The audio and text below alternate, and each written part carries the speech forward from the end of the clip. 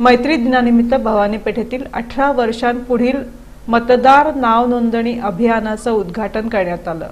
भारतीय राज्यघटनेनं प्रत्येक नागरिकाला वयाची अठरा वर्षे पूर्ण झाल्यानंतर मतदानाचा अधिकार दिलाय. हा अधिकार बजावण्यासाठी प्रत्येक नागरिकाला भारतीय निवडणूक आयोगातर्फे निवडणूक ओळखपत्र दिलं जातं. मैत्री दिनानिमित्त भवानी पेठेत अठरा वर्षांपुढील मतदार नावनोंदणी अभियानाचं उद्घाटन करण्यात आलं. यावेळी आमदार विजयकुमार देशमुख सभागृह नेते शिवानंद पाटील नगरसेवक सुरेश पाटील भाजपचे शहर सरचिटणीस शशिकांत थोरात शहर उपाध्यक्ष दीनानाथ धुळम नगरसेवक संजय कोळी शहर उत्तर मंडल अध्यक्ष सचिन कुलकर्णी परिवहन समिती सदस्य बाळासाहेब आळसंदे यांची प्रमुख उपस्थिती होती. याप्रसंगी आमदार विजयकुमार देशमुख यांनी यंदाच्या निवडणुकीत स्मार्ट कार्डनं मतदान करून स्मार्ट मतदार व्हावं असं आवाहन केलं.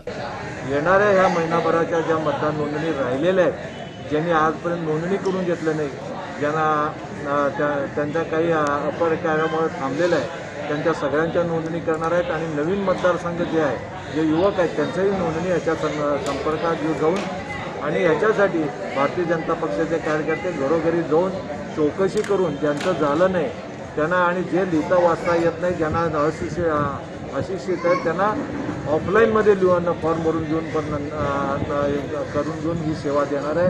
आणि या निमित्तानं येणार या शहर उत्तरमधल्या प्रत्येक घराघरापर्यंत भारतीय जनता पक्षाचा कार्यकर्ता पोहोचेल.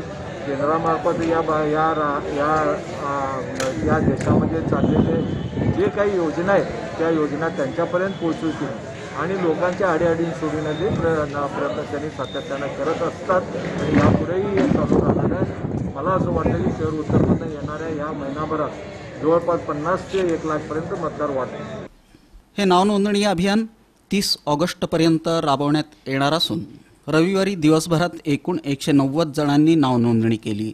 लवकरच राहिलेल्या नागरिकांचे फॉर्म भरून घेणार असल्याचं नगरसेवक सुरेश पाटील यांनी सांगितलं. आजपर्यंत ऑनलाईन नोंदणी झालेलं आहे. आमचे सर्व झोपडपट्टीधारक आणि आमचे असंशित या भागातले नागरिक जे जे कोणी असतील त्या सर्वांना त्यांच्या घरात बसल्या ठिकाणी आमचे सर्व प्रत्येक कार्यकर्ते घरात जाऊन ज्यांना मतदार नोंदणी नाही ज्यांचं ओळखपत्र नाही ज्यांचं रेशन कार्ड नाही ज्यांना आधार कार्ड नाही ज्यांचं नरेंद्र मोदीचे जे काही स्कीम आहेत त्या सर्व स्कीमची माहिती प्रत्येकाच्या घरोघरी जाऊन या ठिकाणी आम्ही हे करायचं मानस मान्य पालकमंत्री माजी विजयकुमार देशमुखांनी सांगितल्यामुळं हे एक महिनाभर आम्ही कार्यक्रम आमच्या प्रभागातच नाही पूर्ण शहर उत्तरमध्ये राबवायचं मालकांनी त्या ठिकाणी सर्व बूथ प्रमुखांना सांगितलेलं आहे. म्हणून आम्ही फक्त मतदार आणि बूथ प्रमुख लोकांना बोलवलेलं आहे. आता सर्व बूथ प्रमुखांना आम्ही सांगणार आहे कुठल्या पद्धतीनं हे कामकाज करायचं आहे आणि सर्वांनी मतदार यादीत नोंद करावं असं कळकळीची विनंती. याप्रसंगी मंडल अध्यक्ष सचिन कुलकर्णी यांनी या स्कीमबद्दल माहिती दिली.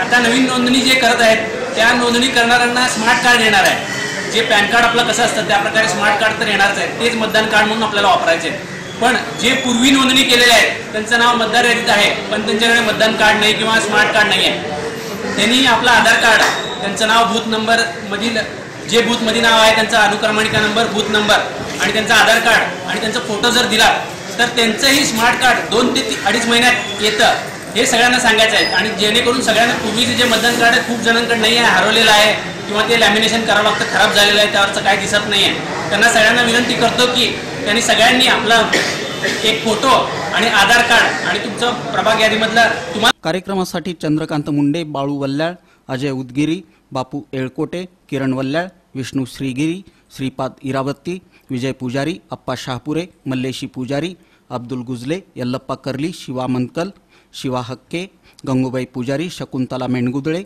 रेश्मा शेख विजयालक्ष्मी माने अंबिका कोळी आदींनी परिश्रम घेतले. याप्रसंगी मतदारांना बिपिन पाटील यांनी आवाहन केलं.